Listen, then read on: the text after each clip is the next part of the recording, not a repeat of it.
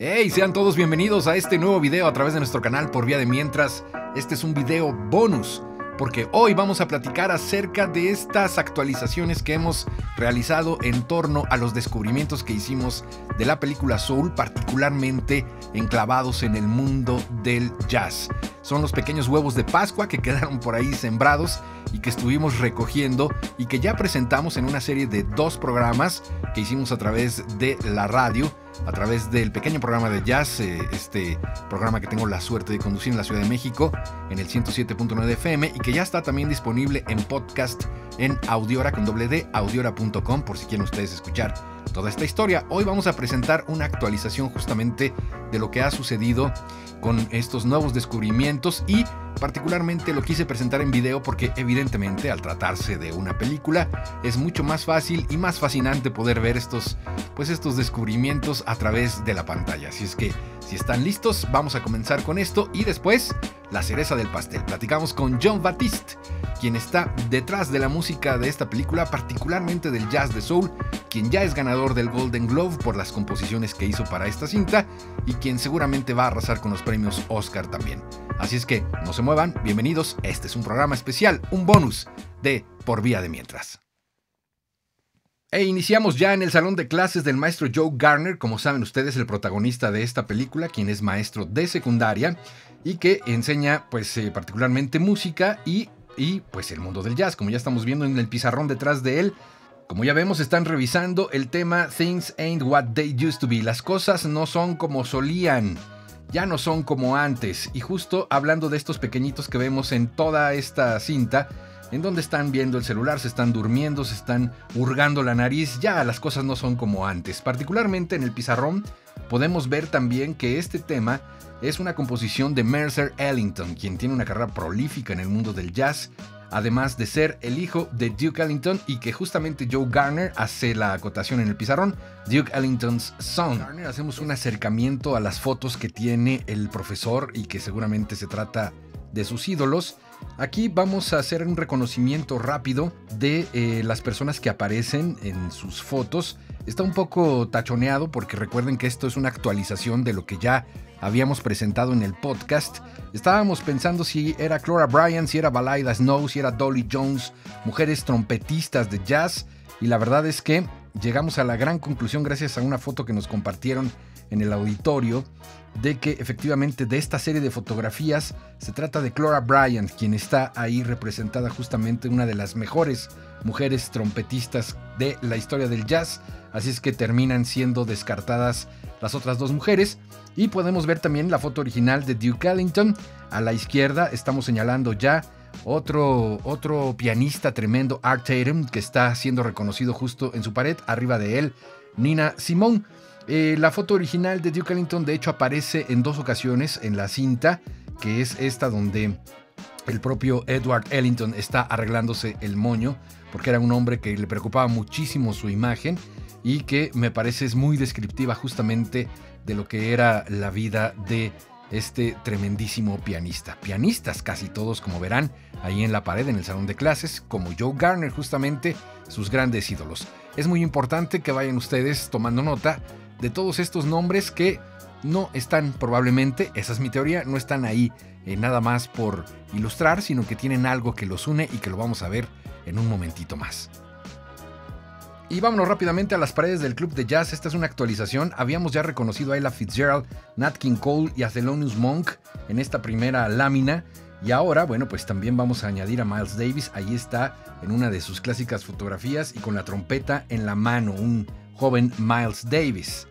Vamos ahora a la pared eh, contraria, ahí vemos a Joe Garner, ya habíamos reconocido a algunos de los músicos que aparecen ahí, Thelonious Monk, Billie Holiday, Harry Hancock, Frank Sinatra, pero al paso del tiempo, Gabriel Puentes, a quien le mandamos un abrazo, tremendo baterista chileno radicado en México, nos había dicho, quizás no es Harry Hancock, quizás es John Coltrane, y puede ser, puede ser, eh, aquí entramos en este debate de si es uno u otro, de primera instancia a mí me pareció Herbie Hancock, un joven Herbie Hancock, pero ya cuando nos han puesto la duda puede ser que también se trate de, de John Coltrane. Herbie Hancock, por cierto, participa como parte del consejo eh, que tiene que ver con la música de esta película, así es que tampoco eh, hay cosas azarosas. Hay gente muy preparada que estuvo supervisando justamente que esto fluyera y que fuera un buen material y que por supuesto representara correctamente al mundo del jazz. Y vamos rápidamente a otro ángulo de estas escaleras, la pared del club de jazz dentro de Soul. Ya vemos algunas fotos que hemos reseñado, Nat King Cole, Thelonious Monk, pero hacia el extremo derecho aquí podemos ver, lo habíamos también mencionado eh, para el podcast que hicimos y los programas de radio. Aquí habíamos ya reconocido a Nina Simone, habíamos reconocido también a este tremendo pianista canadiense Oscar Peterson. Arriba de él, por cierto, está Bill Evans, quien eh, no lo señalamos en esta lámina. Pero aquí es donde entramos un poco en controversia. Eh, de primera instancia, a mí me pareció que esta foto era de Marian McPartland quien, eh, bueno, pues es una absoluta pianista, compositora increíble, y me lo pareció porque pareciera que es una foto de alguien de piel blanca, pero después el mismo Gabriel Puentes me dijo, tal vez es Mary Lou Williams. Ahí entramos en un pequeño debate hasta que pudimos observar, como ahora lo vamos a ver justamente, si efectivamente se trata de Mary Lou Williams o Marion McPartland. Ya una vez viendo esta fotografía me parece que queda muy claro que sí, probablemente se trata de la serie en la que se inspiró justo la película para poder retratarla aquí en esta pared. Ella es Mary Lou Williams, compositora, eh, pianista también, de una trayectoria fantástica. Así es que bueno, pues para que no quede entonces ahí entre sí y no, pues una foto de, de las dos juntas. Mary Lou Williams y Marion McPartland en esta famosísima toma de aquel día en Harlem, una de las fotografías insignes del mundo del jazz. ¿Ustedes qué opinan? Ahora vamos a la intimidad del departamento del maestro Joe Garner. En un momento de la película Soul podemos ver que en su sala tiene un póster bellísimo de eh, precisamente Jazz at the Philharmonic. El JATP, así conocido, un proyecto de 1940 precisamente de Norman Granz, quien organizara en 1944 con las más grandes figuras del jazz de la época una serie de conciertos que se hicieron famosos justamente así conocidos como Jazz at the Philharmonic. Billie Holiday, por cierto, grabó Body and Soul en una de esas presentaciones en el Philharmonic Auditorium de Los Ángeles. De ahí que toma justamente el nombre. Y este es un dato además que vamos a subrayar porque en un momentito más vamos a ver por qué tiene que ver que haya grabado este tema. Ahora en esta imagen podemos ver, seguimos en el departamento de Joe Garner, un poco de la colección de sus discos y aquí tenemos la portada de un disco de Thelonious Monk, que bueno, pues si bien esta portada como tal no existe, sí existe la tipografía original de uno de sus materiales. Como verán, utilizaron justamente las letras Monk para poderlas plasmar, es decir, no es algo que haya terminado eh, siendo azaroso. Finalmente vamos a ver esta imagen que es la que comenzó a detonar toda esta teoría que ahora mismo les explico.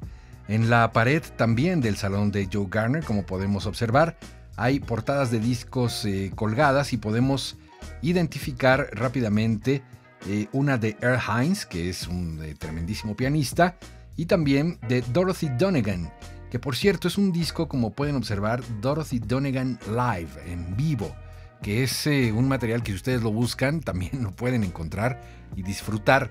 Dorothy Donegan no fue precisamente una de las grandes estrellas del mundo del jazz, pero eso sí, fue de las precursoras en este género y que hiciera su propia carrera y lanzara sus propios materiales, una trascendencia justo con la actividad que estaban haciendo las mujeres en ese entonces.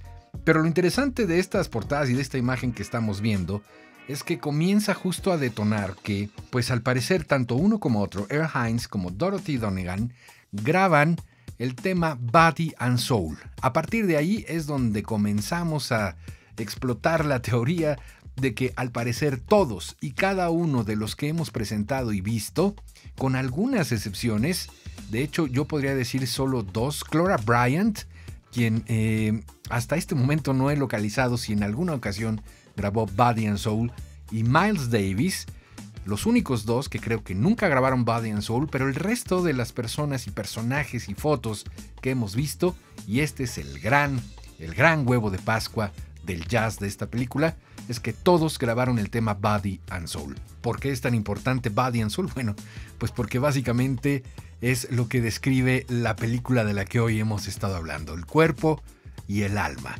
que básicamente, insisto, es el argumento principal, la separación y la unión, la historia que vemos justo en esta película, Body and Soul. Es eh, absolutamente extraordinario el poder eh, ver que cada uno de los que hemos hablado, presentado, subrayado y demás, todos tienen una versión de Body and Soul, incluido nuestro entrevistado con quien ahora mismo vamos a platicar, con John Batiste, quien grabó también a los 16 años Body and Soul en su primer disco.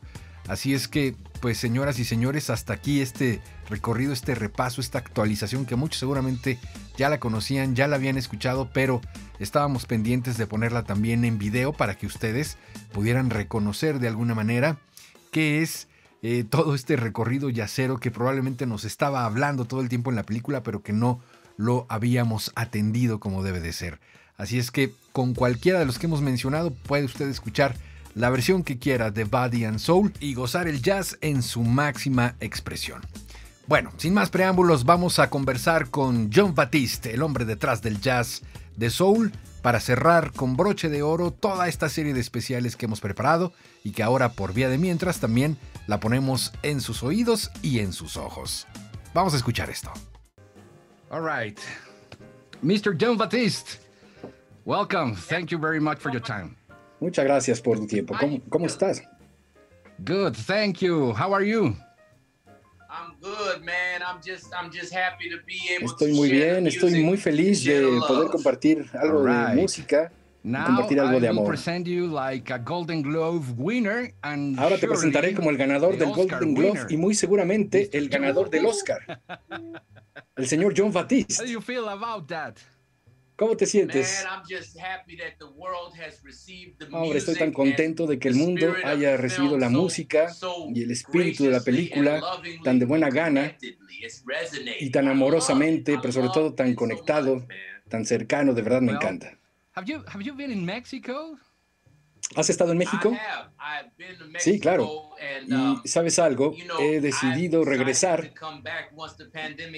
una vez que la pandemia lo permita para presentarme. Creo que será eléctrico. Creo que será uno de los más grandes sentires después de todo esto, ver y escuchar la música que hago ahora en persona.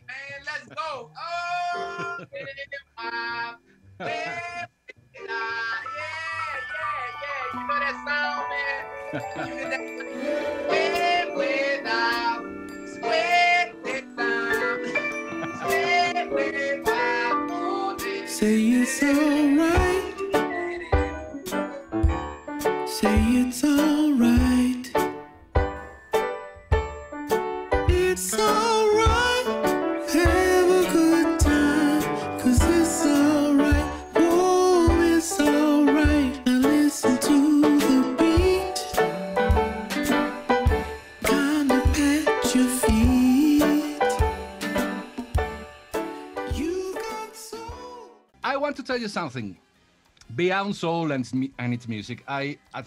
Quiero decirte algo más allá del soul y su música. Admiro y respeto tu trabajo muchísimo.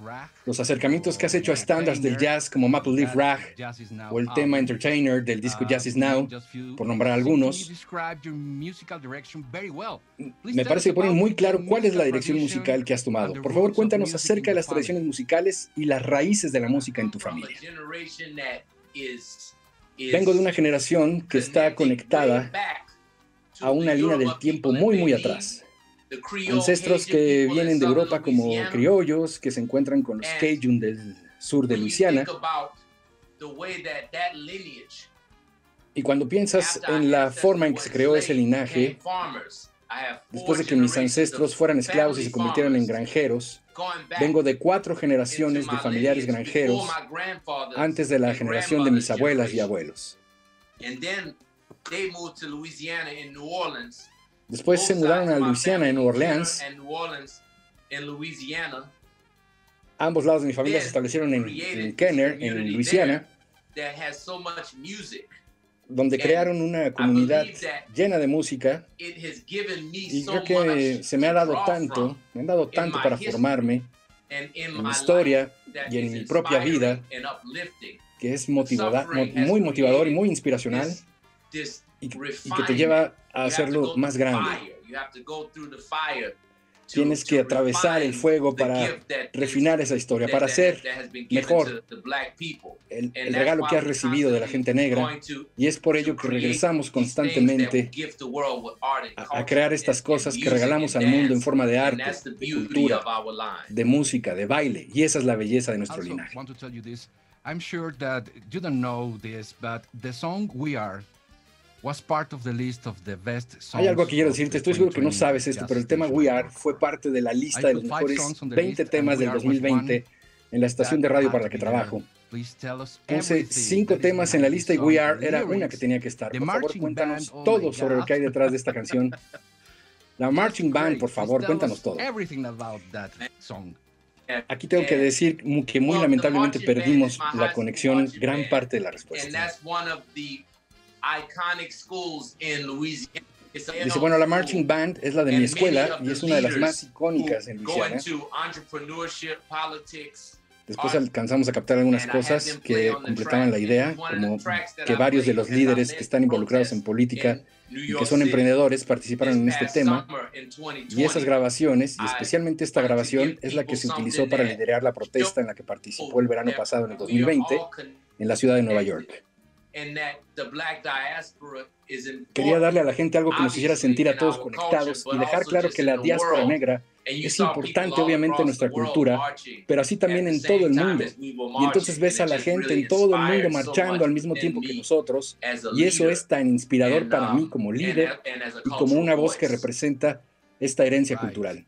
What do you think about this moment in jazz music because it's uh, soul ¿Qué piensas eh, de este momento en el jazz donde está Soul, sí, pero también la vida de Mark Rainey y la vida de Billie Holiday? Es un gran momento, ¿no crees? Totalmente, es un gran momento para la cultura negra. Y chequen esto, es el mejor momento del 2021 en mi vida. Escuchen esto, por favor, es maravilloso.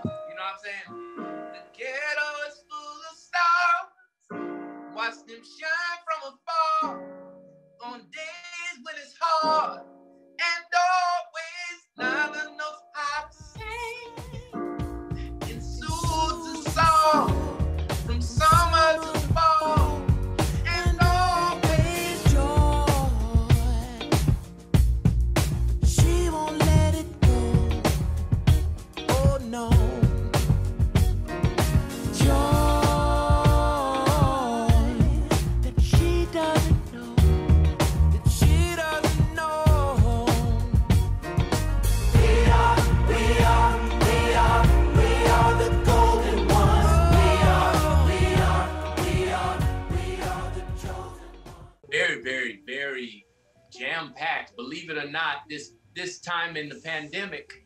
Ha sido toda una historia, lo, creas o no. Esta época de pandemia ha sido muy ocupada para mí, aún sin tener mucha oportunidad de estar solo o para estar con mi familia y mis seres queridos. Pero ha sido un momento para explotar la creatividad. Yo empecé a trabajar con la música de soul hace dos años y también con mi disco que ya había iniciado todo desde el 2019, y, después terminamos justo en medio de la pandemia, donde fue necesario crear nuevas formas de trabajo y de proyectos, nuevas formas de entendernos que tuvimos que crear durante ese tiempo.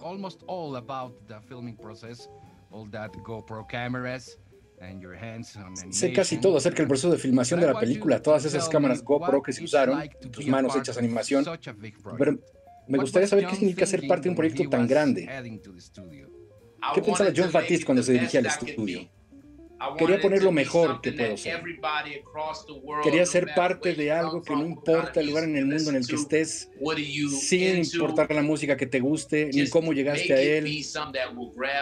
Ser algo tan grande que envolviera los corazones de la gente y conectar de un modo puro inocente, auténtico y verdadero, quería hacer estos acordes, estas estructuras, ya sabes, que se sintieran celestiales, que se sintieran parte de tu vida, que se sintieran como tus pensamientos y tu espíritu, algo que estuviera ligado a nosotros. Y una vez que capté esas emociones, le puse melodías dentro de esas emociones. Pensé en melodías que estuvieran en esas emociones. Melodías como de arrullo, como de pequeñitos, ya sabes.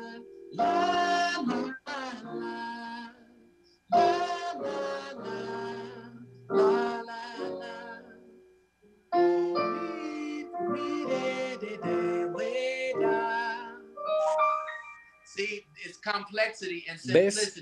Es complejidad y simplicidad al mismo tiempo, todo en uno. Quería capturar eso. Y creo que lo hicimos. Realmente lo hicimos. Fue un gran trabajo, de verdad. Muchas felicidades.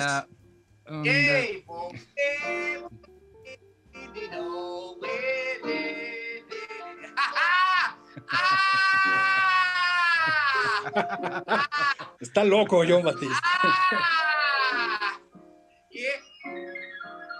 So you are in the zone.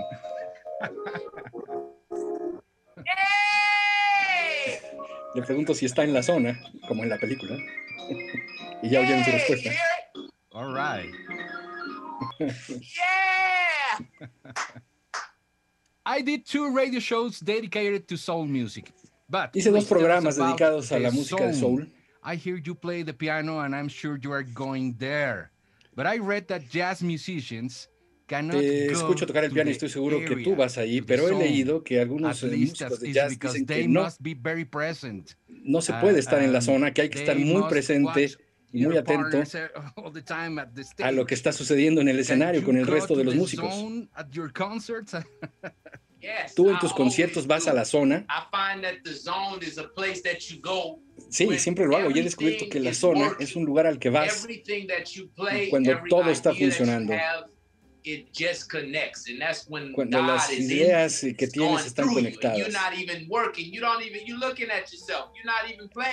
Están funcionando te rebasan, te atraviesan y ni siquiera te das cuenta que lo estás haciendo. No estás trabajando, estás simplemente ahí. No estás consciente de ti, ni siquiera te ves a ti mismo. Solo sabes que estás en el escenario, no ves nada. you know, it, it, it may happen for two minutes in a two hour long concert. Es sentir y trato de ir allá siempre y esa es la belleza. Una vez que estoy ahí trato de quedarme. Y, y aun cuando tocando puede ser en un concierto de dos horas, solo vaya por dos minutos. Pero esos dos minutos son uh, los que me van a dar ese valor. Que estoy tocando y a veces te puede suceder estar ahí por una noche, estar en la zona por una semana durante una gira donde todo se combina. La energía de la audiencia, los lugares y todo funciona. Así que es una rareza, pero siempre agradezco mucho cuando tengo la oportunidad de estar allí en la zona. Llegué a una conclusión. Quizás estoy equivocado o estoy correcto. Todos los músicos que aparecen en las fotos de las paredes o son mencionados en la película. Todos grabaron el tema Body and Soul everybody who, who appears in that Todos movie los que aparecen en esa película. And is one of my favorite. Is this on purpose? Parece que todos tocaron Body and Soul y es una de mis favoritas. Mi primer álbum cuando tenía 16 o 17 años tenía justo Body and Soul y aquí toca un fragmentito.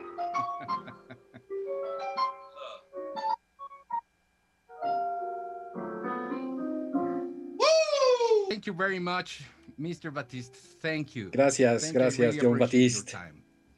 Thank you, Eric. We're gonna get together, man. I can't wait to get to Mexico. Hey, yeah, Mexico. Absolutely, absolutely. Parece que quiere venir a México. Thank you. Goodbye.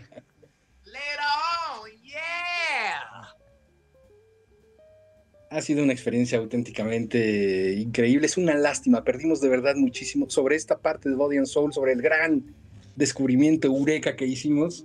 Se quedó friseada la entrevista, ya no supe y ya no pudimos retomar.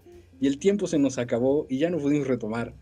Eh, pero bueno, por lo que alcancé a captar dentro de pedacitos de respuesta que llegaban, eh, me parece que no estamos nada equivocados y que encontramos el gran huevo de Pascua de esa película a través del tema Body and Soul. Hasta aquí nuestro video especial bonus dedicado a la película de Pixar Disney Soul. Y bueno, pues esperamos que les haya gustado. Si fue así, por favor, ayúdenos a compartirlo y suscríbanse a nuestro canal. Déjenos, por favor, ahí activa la campanita para que no se pierdan ninguno de nuestros videos y recomiéndenos. Los esperamos en nuestro siguiente video por vía de mientras. Yo soy Eric Montenegro. Gracias. Adiós.